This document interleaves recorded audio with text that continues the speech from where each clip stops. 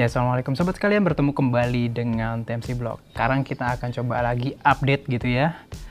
Di awal Juli 2021 ini mengenai boleh dibilang line up pembalap 2022 lagi. Nah, seperti kita ketahui, Maverick Finalis itu sudah confirm banget gitu ya akan meninggalkan Yamaha di akhir musim 2021 ini.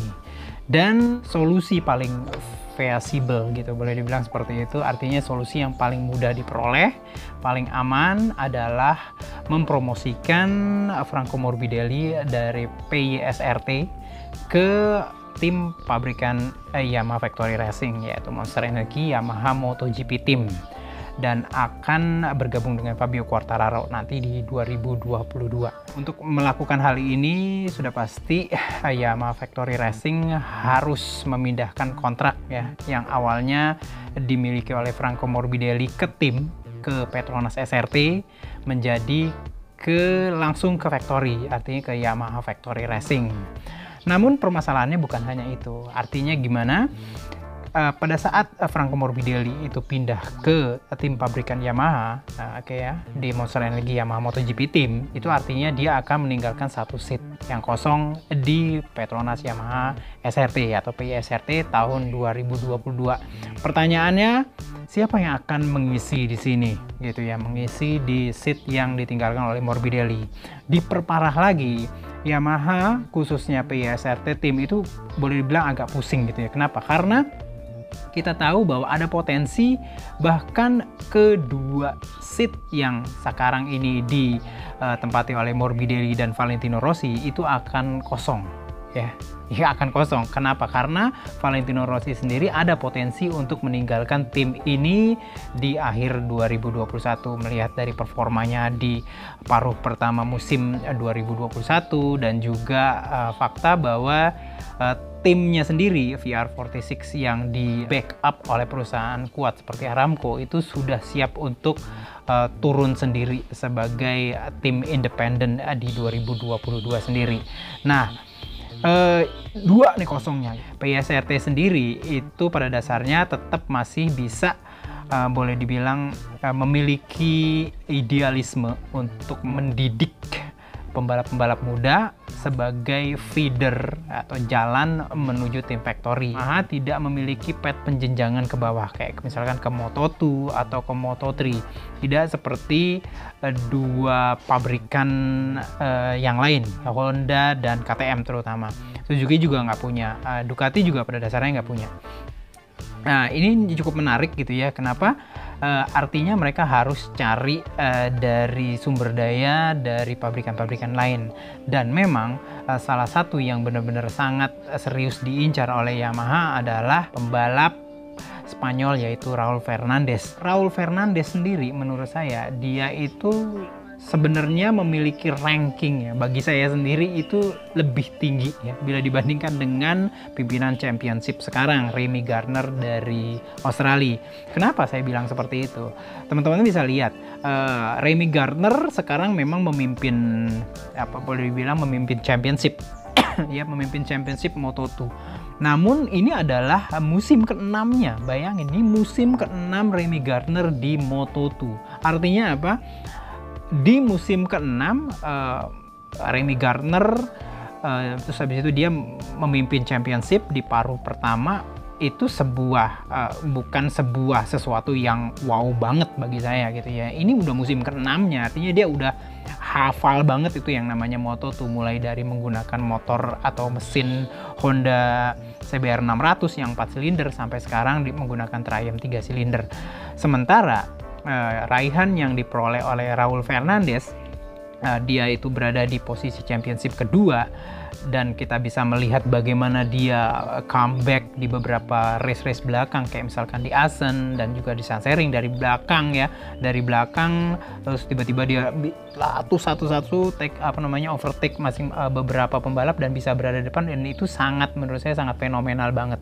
Dan uh, raihan ini diperoleh oleh Raul Fernandez di tahun debut pertamanya di Moto2 dan inilah yang menurut saya Fernandes itu lebih eksepsional. Dia lebih spesial bila dibandingkan dengan Remy Gardner. Cuman karena Remy Gardner itu secara umur dan juga secara pengalaman sudah jauh lebih lama di Moto2 jadi ya secara kedaruratan ya dia lebih darurat untuk bisa naik dulu ke MotoGP. Sehingga Remy Gardner tahun depan akan membalap di Tech 3 Eh, KTM Factory Racing ya uh, dengan siapa masih belum tahu masih ada satu seat yang belum ditentukan oleh uh, Tech 3 untuk mendampingi Remy Gardner di tahun depan.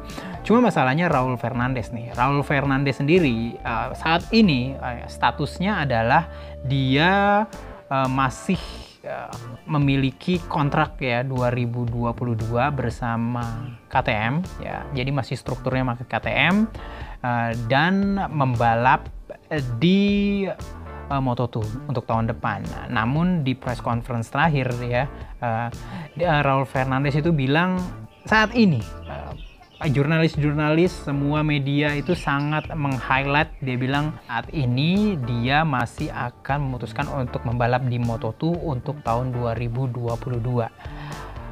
jurnalis-jurnalis uh, itu sangat meng-highlight uh, perkataan saat ini dalam tanda kutip. Artinya mungkin ke depan melalui lobby-lobby dan segala macam yang dilakukan oleh pabrikan-pabrikan lain terutama Yamaha bisa meluluhkan atau membuat Raul Fernandez bisa lepas dari struktur KTM untuk bisa membalap dengan mereka seperti yang terjadi dengan Jorge Martin yang pada dasarnya dia tuh merupakan salah satu dari talentnya KTM yang akhirnya berhasil direbut oleh Ducati dan membalap menggunakan motor factory di tahun 2021 ini bersama Pramac Racing. Um, ya, namun ya, namun saya menemukan satu uh, hal yang membuat uh, saya berpikir bahwa sepertinya apa yang akan dilakukan oleh Yamaha tidak semudah itu untuk bisa merekrut uh, Raul Fernandez untuk membalap uh, di tim mereka atau mungkin di Petronas Yamaha SRT tahun 2022 nanti. Ya, yang pertama itu karena memang uh, Raul Fernandez masih memiliki kontrak dengan KTM membalap di Moto2 tahun depan. Walaupun kita tahu sebenarnya bahwa angka, ya kalau kita bilang masalah finansial, angka kontrak dari Raul Fernandez dengan KTM ya untuk tahun 2022 itu berada di angka 500 ribu euro per musim untuk uh, tahun 2022 angka ini 500 ribu uh, euro ya boleh dibilang hanya seper 13 boleh dibilang segitu.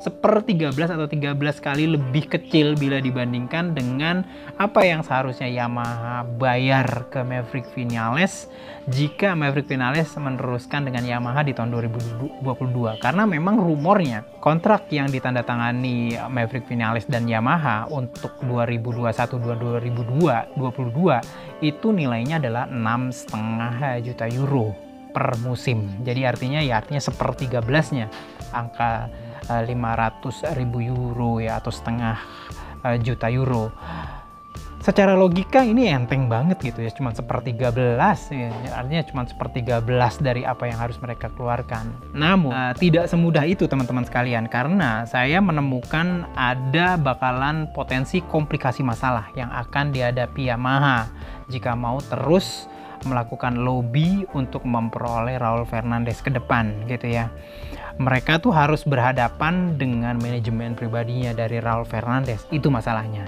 Dan manajer pribadinya Raul Fernandez yang mengurusi masalah kontrak dan segala macam itu namanya Heinz Kinnegartner. Nggak ada hubungan sama Remy Gardner ya, karena terakhir Gardner juga. Bacanya gimana ya? Hennes ya, Hennes ya, Hennes Kinnegartner ya. Hennes Kinnegartner ini adalah putra dari Heinz Kinnegartner. Dan Heinz Kinnegartner adalah konsultan bagi KTM Motorsport yang memiliki jalinan ya ikatan sangat dekat dengan KTM dan Red Bull. Ah, jadi boleh dibilang ya memang ini merupakan tembok yang mesti di apa namanya dilalui oleh Yamaha Factory Racing ya. Kalau misalkan mereka bener-bener kekeh dan gregetan mau merekrut dari Raul Fernandez untuk bisa membalap dengan mereka di atas Yamaha M1 di tahun 2022 nanti. Tidak mudah tidak mudah teman-teman sekalian untuk bisa merekrut um, Raul Fernandez karena ini masalahnya bukan hanya soal uang semata. Itu aja yang bisa saya sampaikan. Kita masih belum tahu, kita akan update nanti apa yang terjadi di silly season 2022. Stay tune di TMC Vlog. Sampai berjumpa di vlog selanjutnya. Assalamualaikum warahmatullahi wabarakatuh.